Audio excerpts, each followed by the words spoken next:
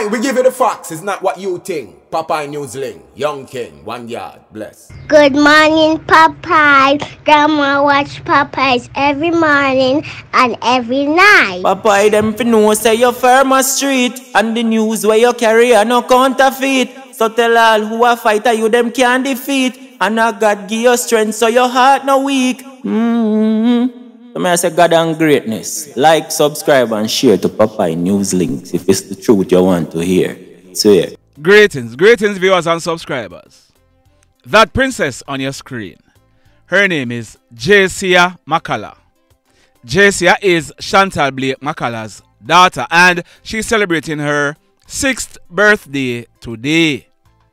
Jaycia, I am sure that someday you're gonna be hearing this. Your mom, Chantal, she loved you very much, and it was your father, Shane McCalla, who is responsible for what happened to her. He took you and your siblings to Canada and has not allowed you to communicate with none of your mom's side of family because he does not want you or your siblings to know the truth. They're asking us to wish you a happy birthday today and they want you to know that they love you very, very much. Princess Jaycia, if you are even seeing this when you are 20 odd years old, happy birthday to you. And remember that your family, your mom's side of family, love you very much. Alright? Now, I released a video last night about certain allegations being made against a police constable at the Bridgeport Police Station. I have been going through the comments and there are some people who are saying that it is not true. The story is fake. Now, I'm not sure what they are saying is not true or what is fake, but let me tell you what is true. Listen me carefully.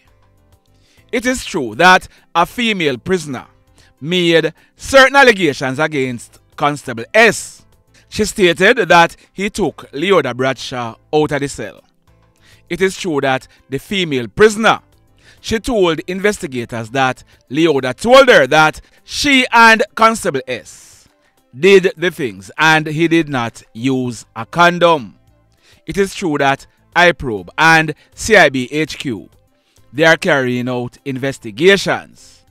It is true that Constable S and a female police officer they were transferred from the Bridgeport police station based on the allegations. So is Leoda pregnant or not? In the video I dropped last night, I told you that I cannot say yes or no. Are the allegations being made by the female prisoner true? I cannot say whether they are true or not. Nationwide News Network, they are reporting that their sources are saying that the female prisoner has confessed, saying that lies were told on Leoda and the police constable and that the story was fabricated. Now, I am not discounting Nationwide's sources. I am waiting to see what the investigations unearth. I am hoping that at the end of the investigations, the JCF is going to be saying what their findings are. Are you following me? In today's news, there is a big scam going around for a very long time. May I talk about decades? Listen to Central Westmoreland Member of Parliament George Wright telling us about someone who was scammed by one of these scammers. Listen this.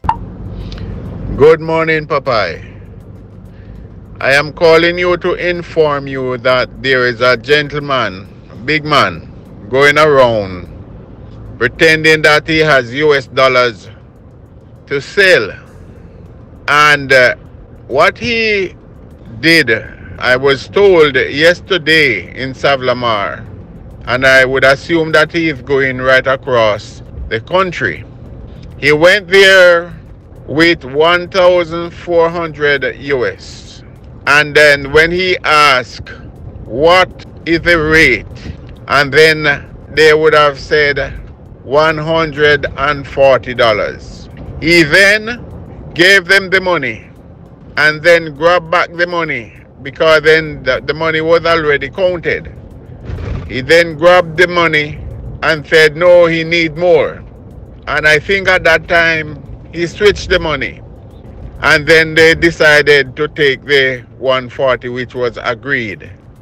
After which he collected his sum which was over 200,000 and he left so remember now the money was already counted and, and, and wrapped with a elastic band. He hurried away after collecting his money. And uh, later after when the lady decided to check the money again, the lady when the lady looked, there was a, a $20 on top and then the rest was $1 and $2. So what I think happened then is that when he grabbed the money to say that he need more for his US, he switched the money. So I want people to be aware that they are scamming not just young persons that's coming, but also elderly. Because I understand this man should be up in his 50 enough or about in his 60s. So I just want to bring this awareness so the people can know and look out for this criminal. So, you heard what MP George Wright said? It means that if you are in the business of changing money, once you get the US dollars and check it off, if for any reason you give back the person and then take it back, check it again. I know of a lot of persons who have been swindled out of hundreds of thousands of dollars this way, and the truth is, you will hardly hear these crimes being reported on the news. Please be careful. Tell your staff, be careful. Tell your wife or your husband, your girlfriend, your boyfriend, your children if they are going to be changing money. Be ye aware. This one took place in the Copper Avenue, New Harbour Village area of Old Harbour in the parish of St. Catherine. We are told that late Sunday night, April 7, a 32 year old female teacher, she securely locked up her house and went to bed. When she woke up early yesterday morning and made checks, she realized that her house was broken into. Hoodlums broke off the lock to the back door, entered the house, searched her handbag, which was on a table, and stole from it bank cards and the car keys for her Honda Fit motor car that was parked outside. The hoodlums then stole her 2015 silver Honda Fit motor car. Just like that. In this next report, a Canadian citizen, his name is Andrew West. He was born on February 4, 1967, 57 years old. Like I said, he's a Canadian citizen. We are told that Andrew and his wife, who is a retired teacher, and other family members, they arrived in Jamaica on Saturday, March 30, and they were supposed to depart the island on Sunday evening, April 7. They were staying at the Round Hill Hotel in Hanover. About 11 o'clock, Sunday morning, April 7. Hours before Andrew and his family were scheduled to depart the island. Andrew, he went snorkeling on the beach of the hotel. We are told that after a while, Andrew's wife and other family members, they realized that Andrew, he was out snorkeling longer than he usually does. As a result, they went to search for him. About minutes to 1 p.m., Andrew's lifeless body was seen floating face down about 25 meters from shore. A family member removed Andrew from the water. The police and a doctor were called in and Andrew he was pronounced DEAD. The police they are awaiting a post-mortem examination to ascertain what led to Andrew's demise. Sad indeed. This next incident, it took place Sunday morning, April 7, almost 12 midday. It took place at Top Lincoln in the Grange Hill area of Westmoreland. We are learning that a team of police officers, acting on intelligence, they carried out a raid at a one bedroom apartment board building in the area and bingo. One black Taurus 9mm pistol with the serial number intact, affixed with a magazine containing four rounds of 9mm cartridges, were found under the house and rock piling used to support the building. No one was arrested in connection with this find, but intelligencers, big up on yourself, and Westmoreland Police, job well done.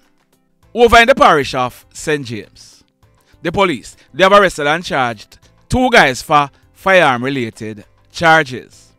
Reports are that yesterday afternoon, Monday, April 8, about 1 o'clock, the St. James Police, they were conducting an operation along the Chambers Drive main road in the Fairfield area of Montego Bay when they signaled a Nissan Sylphy motorcar to stop. The driver, he complied. It is said that the two guys who were in the car, they started acting in a suspicious manner. The police, they searched the car and bingo. One black and silver 9mm pistol was found under the back section of the front passenger seat.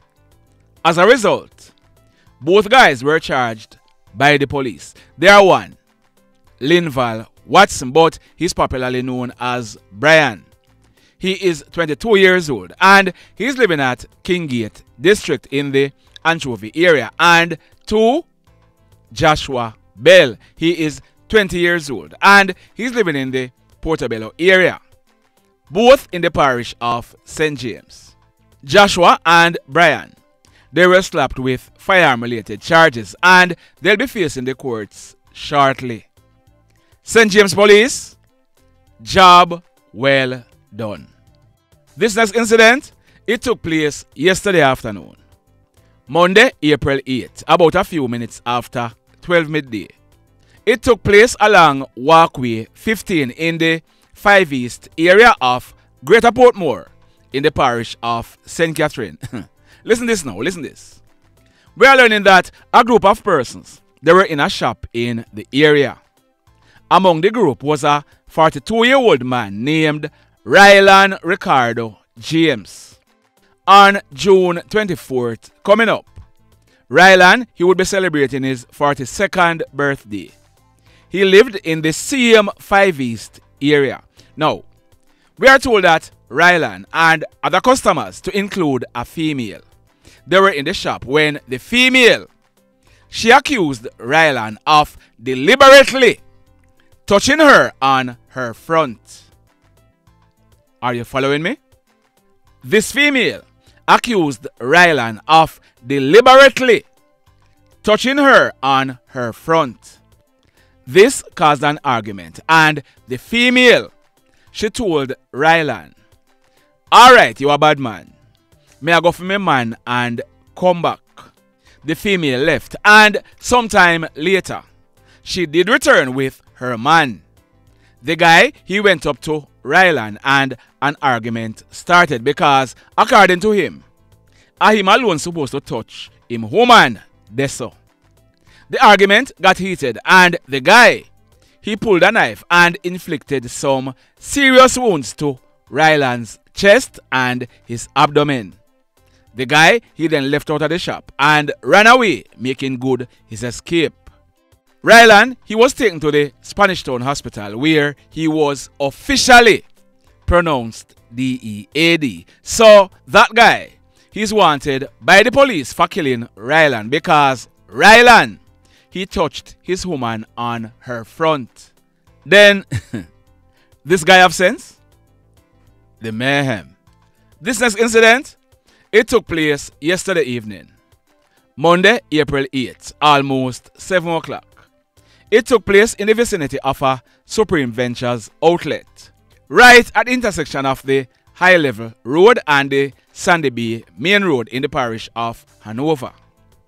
That man on your screen, his name is Jermaine Ricardo Hunter, but he was popularly known as Richie.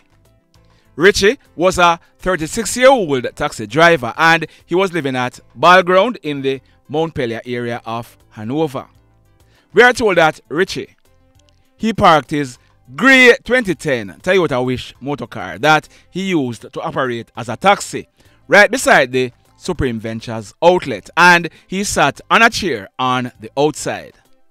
Our information is that a yellow motorcycle with two hoodlums aboard rode up and stopped. The pillion he pulled a gun and opened gunfire hitting Richie to his upper body. Richie he fell off the chair onto the ground and the hoodlums they rode away making good their escape.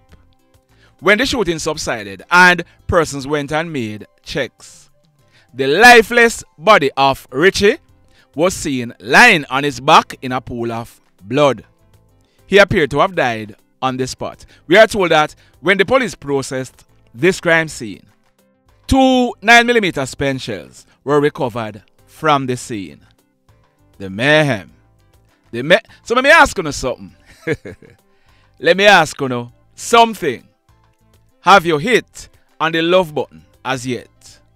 If you have not yet done so, remember to hit on it. Also, if you are over here watching our videos and you have not yet subscribed, hit on the subscribe button as also hit on the notification bell. Then click all so that whenever we drop a new video, you will be one of the first to be notified. And we are learning that there was a shooting in the Lagood area of Hanover early this morning. We are working on that story and in a subsequent video, we are going to be telling you more about that incident. Stand by for it. But in the final story for today, this one took place last night, Monday, April 8th, about 7 o'clock. It took place at Kiencaran in the Darliston Police area in the parish of Westmoreland. We are learning that a guy his name is Dwayne Kinglocke, but he was popularly known as Rooku.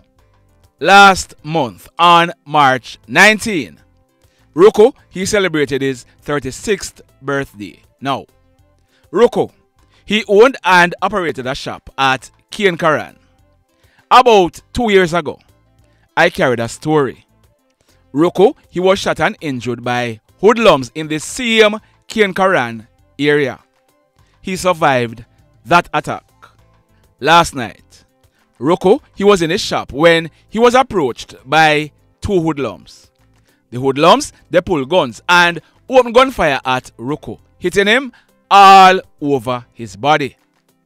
Rooku, he fell on his back on the top of a fridge in his shop and the two hoodlums, they made good their escape on foot in the area.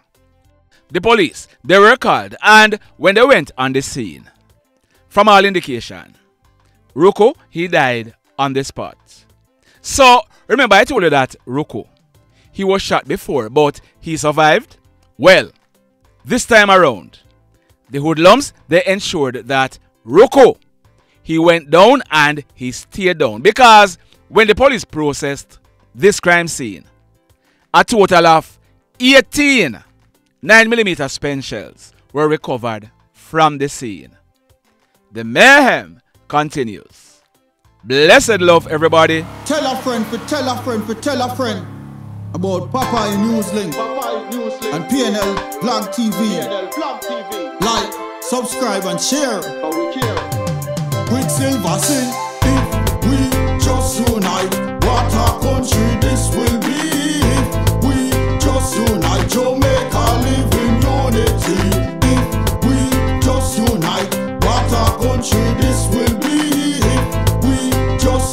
Jamaica live in unity. Hey,